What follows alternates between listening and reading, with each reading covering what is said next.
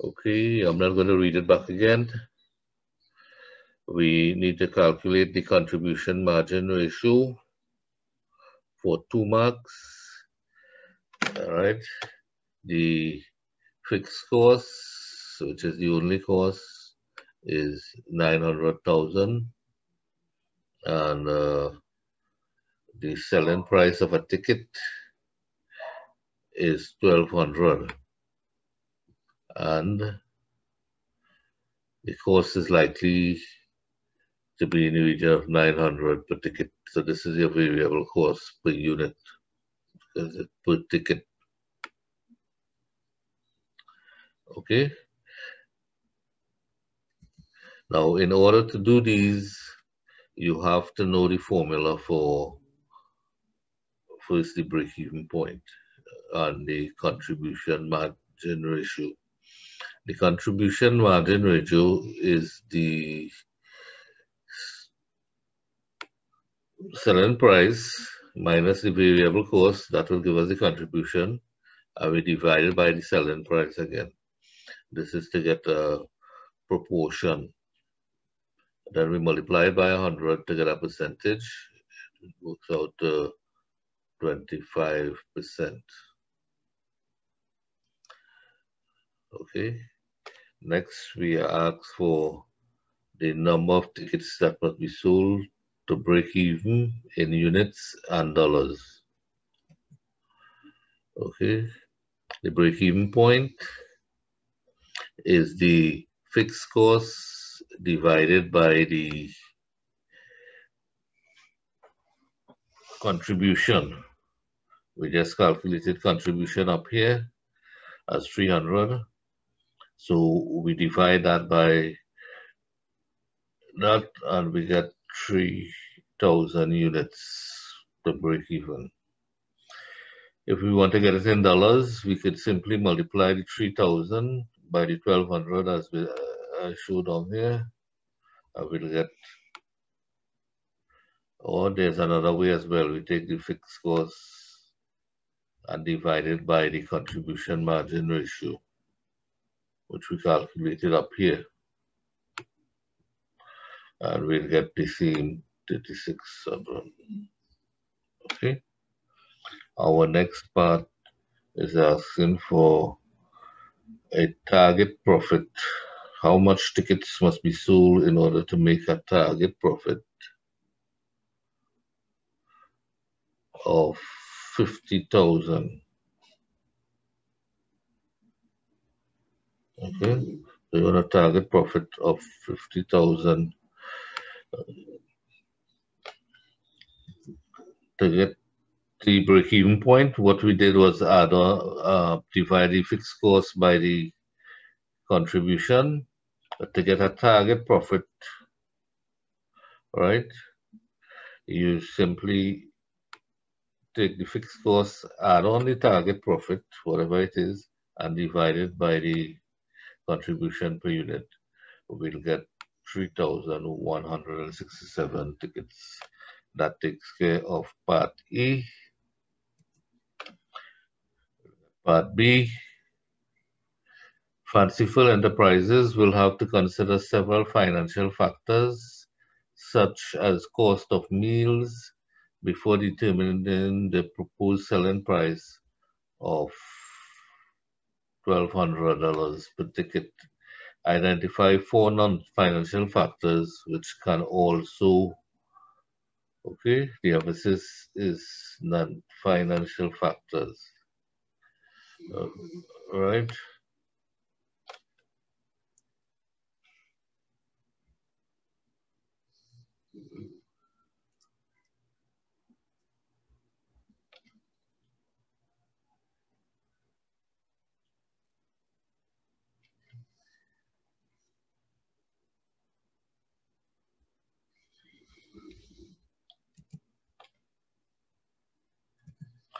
Non-financial factors would be things like the market demand,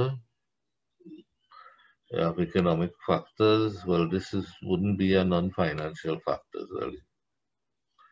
Environmental, competition, political, ethical, and social, right?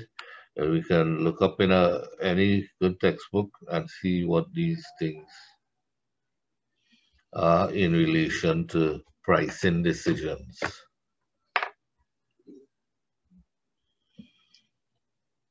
Okay, but uh, since it's only four marks for four, you shouldn't have very long um, thing. If you're going to explain one of these, it simply asks you to identify it. So you don't need to go into any great detail explaining what how those will impact your decision.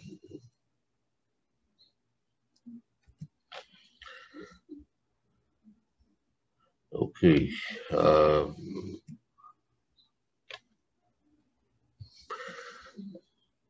we are asked to do a explain each of the following project appraisal technique payback period, internal rate of return, net present value, and you should include in your answer what the technique seek to achieve, how the decision is made, and one piece of information required for calculation. We look and we see it's worth nine marks. So that means each one of these should be with three marks, right? And then you have three things here. So each one of these should be with one mark.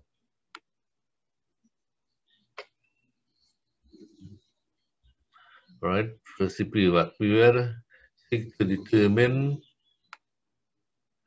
the project with the shortest period when the initial investment can be recovered. All right, and the decision is made by calculating the net saving per year. There should be net saving per year for each project under comparison and reducing the initial cost by the net income.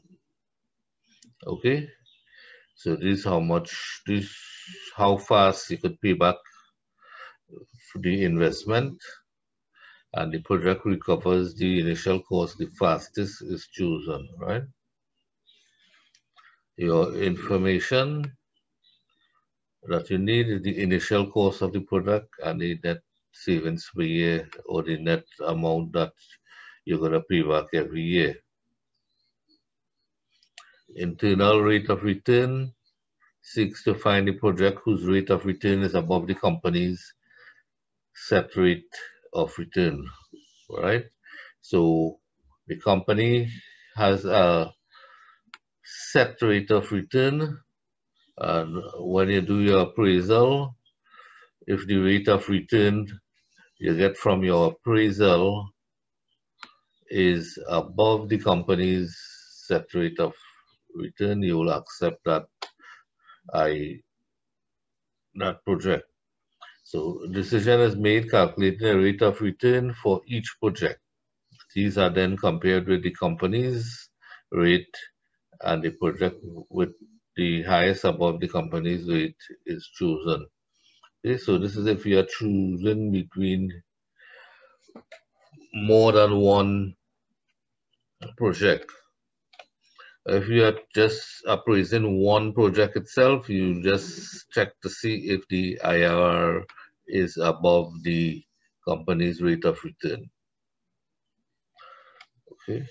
NPV seeks to find the project with the increased net savings discounted to PV, the present value. Okay. So what you are doing is you're checking the returns, you are discounting them, take into consideration the value of money, and then you uh, going to make the decision the project with the highest net savings per year as discounted by this should be as discounted to PV and compared. The one with the increased NPV is June. The increase NPV means the uh, NPV should be positive.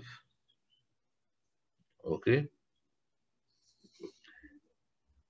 Information that you need is the initial cost of the investment, the net savings per year, discount factors, and salvage value. Okay. Um, I use the term net savings here to mean the net returns, right? Either in cash or in income.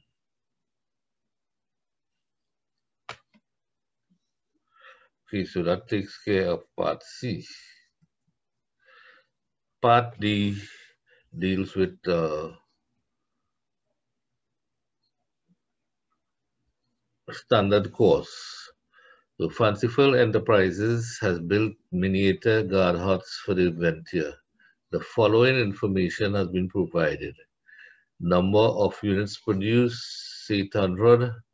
Number of actual hours worked, 600. Total actual direct labor costs, 9,000 materials purchased 9,000 feet, materials used in production 1,000 feet, cost per foot of raw material 7. The standard cost has the following information, direct labor, standard hours, and the rate hour. Direct material, okay, so we have 2.5 standard hours, and $12 as the rate. The direct material is 1.5. Okay, that would be feet and $8 a feet. And we are asked to calculate the labor rate variance and the labor efficiency variance and the material price variance, material quantity variance. So we look calculations on this side. All right, the labor rate variance, like I said, you have to memorize these formulas as first. Afterwards, you can figure it out. Notice if you are dealing with the rate variance, you minus the two rates and you multiply it by the hours. Okay, so we'll get uh, the first rate is 9,000 divided by 600. That the actual rate, you'll get that from here. You have to work it out because it is not given down here, right? So you take the 9,000 and you divide it by the 6 and you'll get the rate. Okay? And then you minus the standard rate, which is given over here.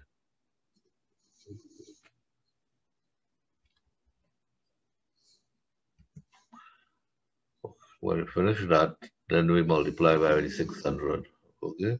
Now you have to be careful when you are doing this on a calculator. Make sure you work out the inside here, get an answer, and then multiply it by the 600. If you attempt to punch it in as it is there, you're going to get all kind of curious figures other than the 1800 here. Okay. The labor efficiency variance, this time you're dealing with usage, so you want to minus the actual hours from the standard hours and you multiply it by the standard rate. Okay, so again, this time we have to calculate the standard hour. Have the wrong side here. Let's see. The here the ether drone units by